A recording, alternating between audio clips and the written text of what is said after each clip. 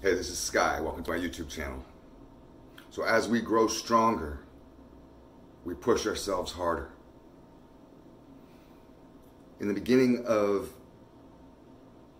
this journey that you may be on to try to better yourself, to conquer addiction, to conquer depression, to fight and manage PTSD, those types of things. You may have anxiety. There's a whole list of things that I've personally gone through, each one of those. I talk about stuff that I've gone through. You know, we start this journey off and it can feel very daunting and we can take small steps like a like a long distance runner who starts off slow because they know they have so many laps to do. They pace themselves. But as the race goes on, they push themselves harder. A runner doesn't go slower towards the end of the race. They run as hard as they can.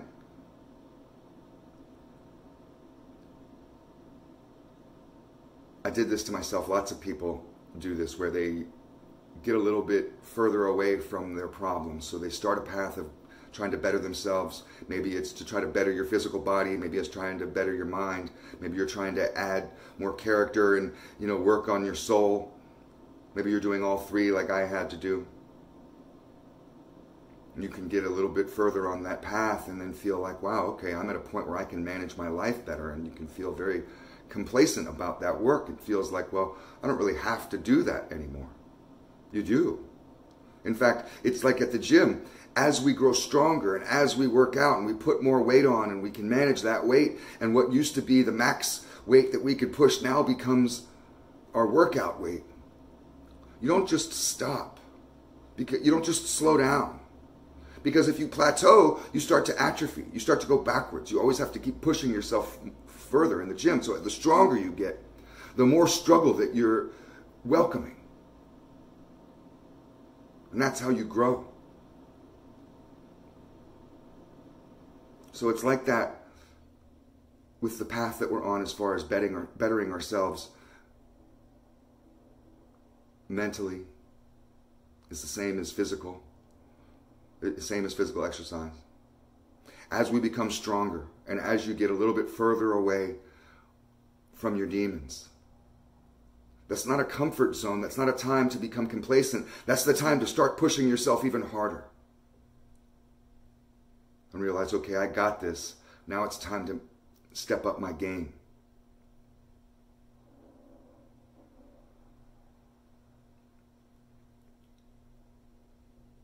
We have to be our own drill sergeants. We have to push ourselves because it can become really easy. Say, if you're trying to lose weight and you've lost 50 pounds and you're like, wow, look at me. And you have these before and afters that are just amazing.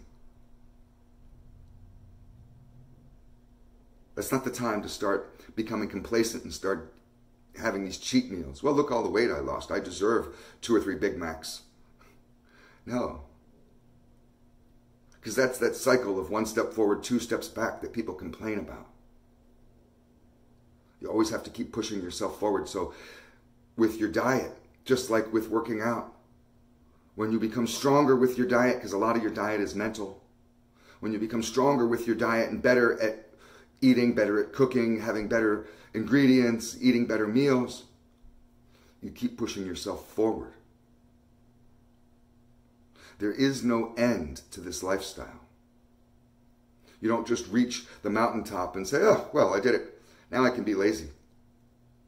Because nobody is who's successful is lazy. It's not how it works. That's a perception that people at the bottom have. They think it's so easy for those people that are doing it. But those people had to pay their dues. I know this in business because a lot of people look at, say, somebody who's successful in business and think, well, they don't really have to do much. Look how successful they are. Must be so easy for them. Must be so great. That guy's working twice as hard as you. He's doing your job and three other people's jobs every day. And then when you just punch out like uh, Fred Flintstone and go to the bar and forget about the, the, the, how hard it was that you had to work your eight hour shift, this guy's putting in 14 hours, 16 hours. He's going all the way till he can't st- till he can't stand it no more, and then putting it up, whatever he had to do on his plate until the, mo- the next morning, getting four or five hours of sleep when you got ten, and you're in your bed so comfy. This motherfucker's already been up. So you can't say, "Oh, well, it's so easy for them." And with any business, when it grows, I used to have this fantasy that, well, when I get my business to a certain point, then I can just kind of be the boss and be out on the golf course. And uh, no. As business grows, the responsibility grows. With more money come more problems, more bills, more people to deal with, more, more heads to bop and keep them in line. It, it, it is never ending. And you have to ask yourself, do I really want success? Well, if you do, because no one's going to force you to be a better person. But if you want to be a better person, if you want to better yourself, you have to be willing to always be adding on to that struggle.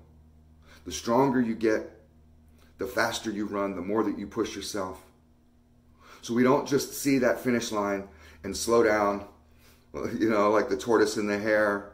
We think that we got this. We built our leg muscles up so strong, so huh, I could just have a burst of energy anytime I want, I guess, and I could just walk. And if I see my demons coming towards me, I can just run a little bit. It doesn't work that way because before you know it, they're right on top of you. You can clean your house all you want, but you'll find the dust comes back. You got to stay on top of it. Cleaning your house is a never ending cycle. You will always clean your house for the the life of the home for as long as you live in that house, you will always have to clean it. The people that don't live in filth. The people that don't clean up are miserable people. The people that don't clean up end up with houses that get broken down. These dilapidated shitholes. So you can create your home like a castle.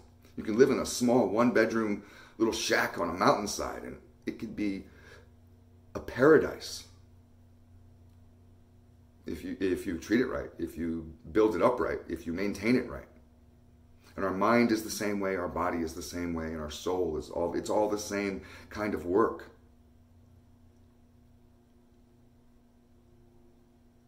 I read a couple books when I first start went sober and I got into a, a, spiritual path, which really helped me become sober. And I, I read a couple books and went to church a few times. And I kind of got to a point where I was like, oh, well, I guess I got this. I put in a little bit of work towards that area of my life. And there you go.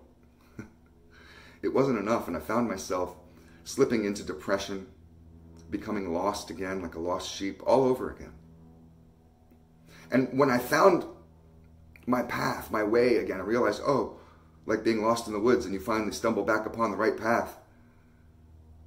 It can be very exciting. It's not the end of the journey. You're just back on track. And I kind of kicked myself. I was like, man, I went a lot of years sliding backwards because I felt like I had seen the finish line and I just became lazy. And all those problems that I had done so well to outpace in the beginning of the race, well, they caught up because they're running hard. And I wasn't. And the biggest lesson I learned with this lifestyle is that it never ends and that it's the it's the journey that matters. It's the it's the daily steps, those daily discipline that you take. I don't want to do this all the time. I don't want to wake up in the, early in the morning and read. I don't want to be spending all this time trying to learn about philosophy and psychology I don't want to be spending all this time in the gym. But life is a struggle. And you have to choose which struggle that you want. Do you want to sit in a doctor's office? Or do you want to be at the gym? Right? Do you want to be horribly depressed and have to fight that every day? The gun in your mouth? Or do you want to put in a little bit of work towards your mental health and learn about psychology, learn about philosophy, and try to internalize this stuff and to, you know, chase those demons down and, and slay them, befriend them, make them work for you instead of work against you. Both are the struggle. Both are going to be uncomfortable. One path is towards greatness and the other one is towards death. Either way, you're going to have to fight. That's, I think, the hardest part that people have in their head is that they just don't feel strong enough for the fight. They wish that things could be easier. They feel like it, like it looks so easy for you. Why can't it just I just be like you? But they're not realizing the work that you put in, the daily struggles that you have to go through just to maintain, so you don't slide back two steps. And it doesn't get easier. You get more used to it. You get more strength in you. It's like being in a hot tub. When you first get in the hot tub, man, that water's hot. You barely put your foot in there and you're like, ah, goddamn. I don't know if I'll ever be able to get in. After you put your ankle in and your knee in and you get used to it, you sit in there for 30 minutes or so. It's a long time in a hot tub.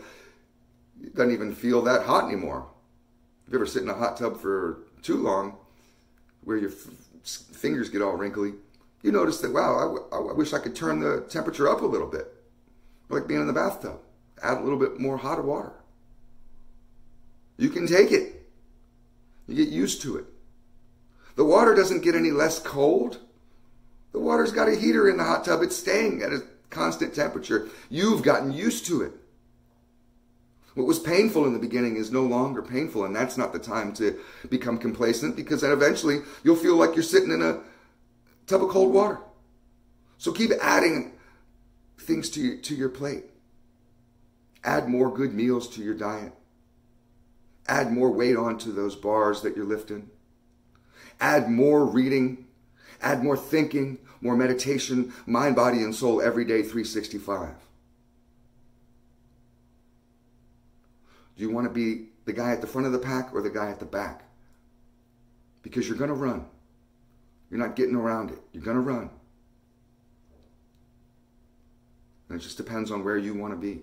You want to be at the front or the back. Thanks for watching.